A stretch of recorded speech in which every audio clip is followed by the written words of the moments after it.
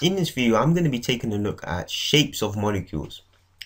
And what I'm going to be looking at specifically is how you can, how what, um, how you can interpret the, the information given from, um, from, from after you working out the number of lone pairs and bonding pairs, and then using that information to, to work out the shape of the molecule.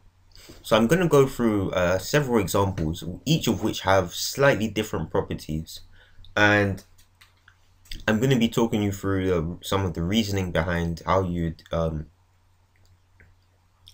deduce the shape of that molecule. So the first two examples here I have are BeCl2 and CO2. And the first thing you might notice from looking at this is that both of these central atoms have only two other atoms uh, bonded to it and these particular ones are ones which we could class as having uh, two bonded pairs. Uh, let me two bonded pairs and no lone pairs. Now CO2 if we were to draw out the structure of this it looks something like this. So we have carbons and it's double bonded to oxygens on either side. So you might be thinking wait a second aren't there four bonded pairs and the answer would be yeah, there are four bonded pairs. But when we're looking at the shape of this molecule, we can look at it as if we only have uh, two bonded pairs since these are going to go in the same direction. The double bond is going to like stay together in that particular direction. So this is going to have the same shape as BeCl2, which if I draw this out is going to be have the Be, wait, so Be in the middle, and then it's going to have the Cl and the Cl and you may have noticed here that all of the, this is all going in one plane. As you can see it's all going in one plane. And if I was to draw a line from the chlorine to the other chlorine and if I was to draw a line from the O to the other O the line is basically a straight line. And so the name we give to these two molecules in terms of their shape is linear linear linear and the angle between the bond angles the basically this angle is 180 degrees. And so the same it's the same for this as well. 180 degrees. And so that's what it would be if we had two bonded pairs and no lone pairs. So now let's take a look at an example which involves uh, three free electron pairs. And this particular example contains uh, three bonded pairs and um, no lone pairs. So three bonded pairs and no lone pairs. I'll take a little look at what would happen if we had two bonded pairs and one lone pair, but I'll do that after I've done this. So barium, I mean boron, boron trifluoride. Boron trifluoride has uh, three bonded pairs and zero lone pairs. So if we were to draw the structure out, it would look something like this. So we'd have the boron in the middle. I'll draw this actually, I'll draw this closer to this. Uh, we have the boron in the middle, and then we'd have a fluorine here. We'd have a fluorine here, and we'd have a fluorine here. And as you can see, these fluorines are all repelling each other. All of these bonded pairs are repelling each other. And for maximum separation in terms of repulsion, what they do is they do all of this repulsion in one plane. So when, when we have these two free bonded free bonded pairs, the repulsion tends to happen in one plane. So it's like along the plane of the paper. It doesn't go in and it doesn't go towards you. It's just like along the plane of the paper. And the angles between this, if you were to imagine that this was like a circle. So here's my crudely drawn circle. if you imagine if you were to imagine that this is a circle what you'd find is that the uh, angles are basically 360 which is the angle the total angle in the circle 360 degrees divided by 3 which is 120 degrees. So as you can see if we had looked at this angle here this angle here this angle here this would be 120 degrees. Now, if we were to now um, think to ourselves, okay, what is the name of this uh, shape of this molecule? Well, the way we name this is we actually look at one of the characteristics. Well actually two of the characteristics. The first the first characteristic we look at is the shape of it. And if we were to join the fluorine atoms right we notice that it forms a triangle. And in chemistry when we're looking at um, molecular geometry molecular geometry and this is just like a fancy name for shapes of molecules shapes of molecules. Uh, this shape, this particular characteristic, the way that it resembles a triangle, we use the word trigonal, trigonal, to say that it resembles the shape of a triangle. And the name we give this shape is trigonal, and we also look at the characteristic that, so the first part of the name, as I said, is tri trigonal. So let me just write that down first. Tri, this is a light color, so I will, I will use this color. Tri trigonal. And then we look at the fact that this shape is all in one plane. It doesn't go into the paper and it doesn't come towards you. Since it's all in one plane um, we say that it's planar planar since it all is all in one plane so we the name we give it the total name the, the complete name we say is trigonal planar trigonal planar. So this is the name we would give to this particular uh, molecular, molecular shape when we have three bonded pairs and zero lone pairs. Now let's take a quick look at what would happen if we had uh, if we had three bonded uh, no two bonded pairs. So we had three three three electron pairs in total, three electron pairs in total, but we had two bonded pairs and one lone pair. And this one, this particular molecule, I'll just represent it algebraically. So X will be the central atom. X is the central atom. And it's got two lone pairs, so lone pairs, and it's got two bonded pairs. So let's just say it's bonded to molecule Y, which is some mystery. I mean, bonded to atom Y, which is some mystery atom. So it's got two lone pairs, and it's got um, two bonded pairs.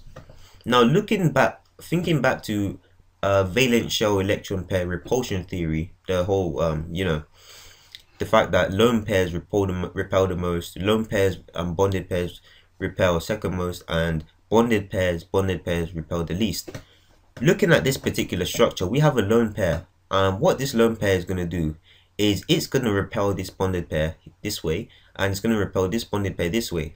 And since the lone pair bonded pair repulsion is stronger than the uh, bonded pair bonded pair repulsion what's going to happen is this particular angle is going to be slightly smaller than you'd expect in this molecule. Because looking at this this is pretty much like very similar to this except one of these bonded pairs is has been replaced by a lone pair.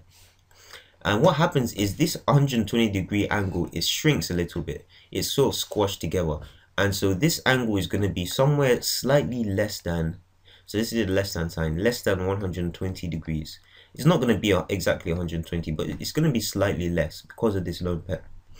So okay, let's move on from that. And, it, and the shape of this molecule, the shape of this molecule, looking at it, it's in one plane and it's similar to this structure up here in the sense that it's one um, atom bonded to two atoms and it's in one plane except when I say one plane I mean like two dimensional but the problem with this is that it's bent and it's not in a line. If if I was to draw join this through the X, uh, with let me choose another pen. It's not a line. It's like a little bendy upside down V, and so the name we give this is non-linear. Non-linear, and we're going to be coming across non-linear a second time in this video, uh, for uh, a structure which has uh more lone pairs, but for now, yeah, this is going to be non-linear. So now let's move on to if we had, rather than just three electron pairs, let's take a look at what would happen if we had four electron pairs. So four electron pairs, four electron pairs. Now for these, both of these molecules, we have four electron pairs bonded to the central atom. And if we look at this, this is methane, methane. It's a simple hydrocarbon molecule. And this is an ammonium ion. Ammonium ion. And this, I don't think I made that space big enough. Ammonium ion. And this is what is formed when an ammonia, NH3, accepts a proton. So it accepts a H plus ion. And yeah, I'll be going into ammonia after because it's got a special shape. But for now, let's look focus on ammonium ion, the ammonium ion. So let's look, actually, let's focus on methane first. It's, it's, it's kind of first in the line.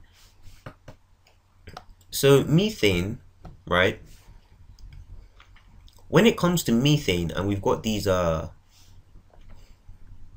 four we've got these four electron pairs. What happens four bonded pairs which are from the four electron pairs. What happens is the the the um repulsion takes on a new uh it takes on a new style, so to speak. And the way it does this is it becomes a three-dimensional form of repulsion. So not only does it re form repulsions in just one plane anymore. No, no, no.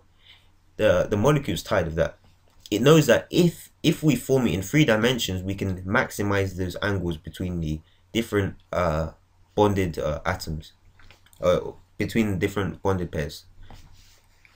And so the shape, the, the way this is shaped is, um, and I'll show draw this now.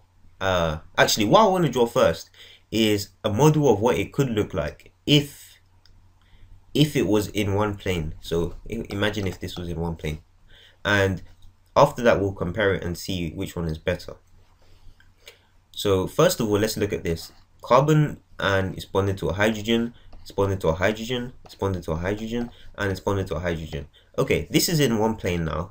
And look at these angles. These are all of the angles and they're all equal and all of these angles are 90 degrees and yeah all of these are 90 degree angles uh, the thing is this this this molecule can do better than 90 degrees and so what this molecule does is it forms a three-dimensional structure and let me just draw this three-dimensional structure now so the three-dimensional structure it draws looks something like this. So we have a carbon and it's bonded to a hydrogen up here and it's bonded to a hydrogen here. And what's happened down what happens around here is that it bonds to a uh, it forms a, a, a wedge a wedge bond. So this bond is pointing towards you. And this another bond which is pointing away from you. So yeah uh, actually let me do it like this so I think it looks better if I do this. So you have the H here, and then the H. Yeah, I guess that looks better.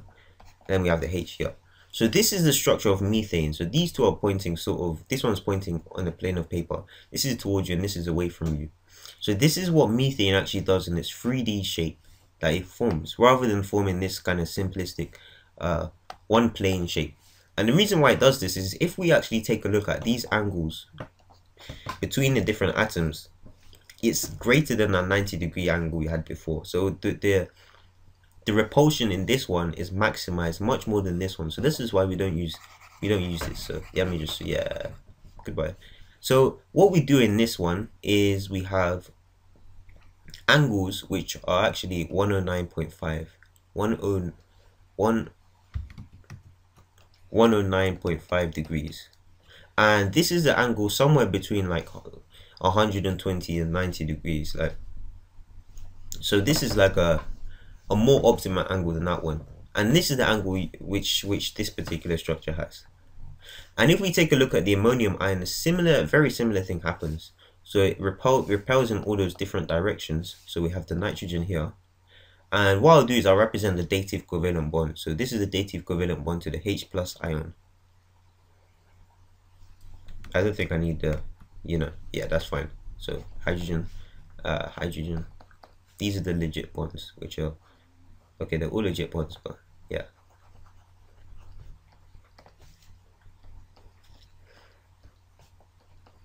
Hydrogen. And all of these angles are the same as the ones on the methane. All of these angles are going to be 109.5 degrees. 109.5 degrees. The reason why it's this angle, I don't know, but this is like the maximum, this is basically the, the, the max repulsion the mac the mac the optimum angles you can get when you're in three-dimensional repulsion mode which this is in and so all of these angles also would be 9 uh, 109.5 degrees. And the way the way we name this the way we name this is we take a look at the different uh, we, we basically look at what shape is formed when we join up the hydrogen atoms. So if I join this up so join up that with that and that and that and that. And we form a triangular based pyramid. So like that and I guess this would be a dotted line. And so that would go up there. If we look at the number of faces uh, we could look at the number of faces or we could look at the number of edges. We've got one two uh, back there we've got three and we've got four. And if we look again at the number of edges one two three four now the, the one of the words used in the molecular um, geometry when we're looking at um, the, the, the, the shapes of molecules the word we use to describe this sort of uh, tendency to have four four is uh, tetra tetra. Tetra is one of those words used to describe the idea of having four. And we say that it's tetrahedral so like coming from the word tetrahedron which is like i think it's this the name the name of this shape this is a tetrahedron. So tetrahedral is the word we use to describe the shape of these molecules tetrahedral. And the angles are 109.5 so now let's look at ammonia